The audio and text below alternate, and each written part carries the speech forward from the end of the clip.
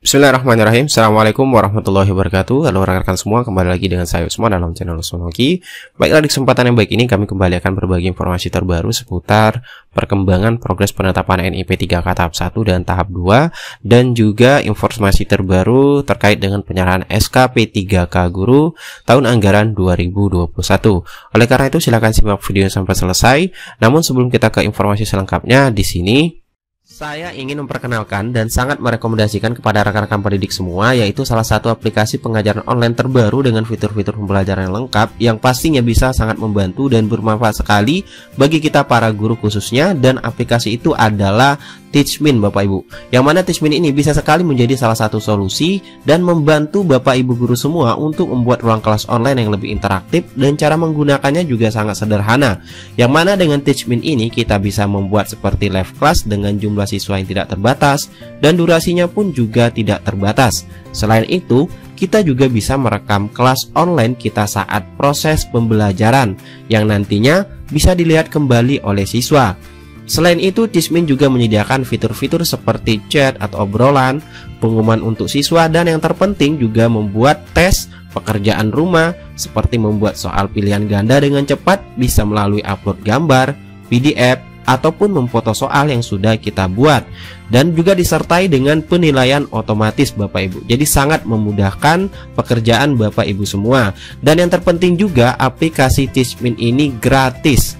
Dan untuk mencobanya, Bapak Ibu bisa langsung download di Play Store atau menggunakan link yang ada di deskripsi video ini. Jadi selamat mencoba Bapak Ibu. Baiklah Bapak Ibu terkait dengan progres ataupun informasi terkait perkembangan penetapan NIP 3K untuk tahap 1 dan tahap 2. Di sini kami dapatkan informasinya yaitu dari uh, wilayah kerja kantor regional 5 BKN Jakarta yang menyampaikan terkait dengan penetapan NIP 3K guru tahap 1 dan tahap 2 dan di sini kita lihat beberapa instansi yang dilaporkan uh, yang sudah uh, mencapai progres 100% dan kalau kita lihat di sini eh, ya seperti di Kabupaten Sintang itu sudah mencapai 100% Bapak Ibu. Kemudian juga kita lihat selanjutnya yang sudah mencapai 100% progresnya yaitu di Provinsi Lampung, kemudian di Kabupaten Lampung Barat, kemudian juga kita lihat selanjutnya yaitu di Kabupaten Sambas Bapak Ibu. Jadi itu beberapa instansi di wilayah kerja kantor regional 5 BKN yang sudah mencapai 100% progres untuk penetapan NIP 3K tahap 1 dan tahap 2. Dan untuk instansi lainnya di wilayah kantor regional 5 BKN ini Bapak Ibu bisa lihat nanti di uh, link yang akan kami sematkan juga terkait dengan laporan untuk uh, penetapan NIP 3K untuk wilayah kerja kantor 5 BKN ini Bapak Ibu.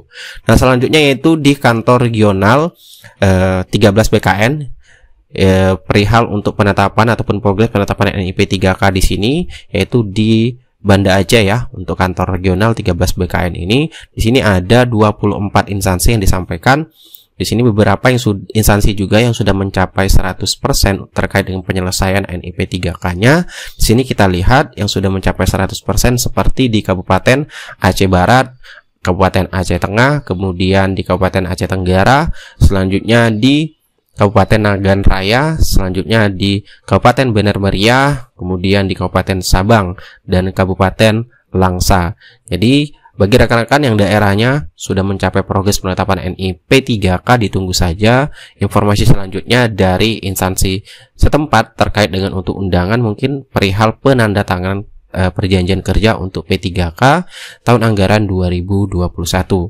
Selanjutnya terkait dengan informasi terbaru untuk penyerahan SKP 3K Guru tahun anggaran 2021, di sini kami mendapatkan informasi resminya yaitu dari pemerintah kabupaten e, yaitu di Bombana di mana di website resmi pemerintah Kabupaten Bombana yaitu memberitakan di tanggal 5 Maret 2022 kemarin bahwasanya Bupati Bombana serahkan 177 SK pengangkatan P3K guru tahap 1 di mana di sini sebanyak 177 P3K tahap 1 kemarin di lingkungan pemerintah Kabupaten Bombana itu melaksanakan penandatangan kontrak dan serah terima surat keputusan pengangkatan P3K formasi tahun 2021 yang langsung diserahkan oleh Bupati Bombana.